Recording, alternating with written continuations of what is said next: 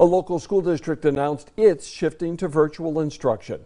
Carbondale Area School District alerted parents on its website it's discontinuing in-person learning for the remainder of classes this month. The superintendent's letter cites the reason as community spread of COVID and not infections within the district. All school sports and student extracurriculars are canceled until December 27th. Carbondale area's holiday break begins December 24th and ends with classes resuming January 3rd.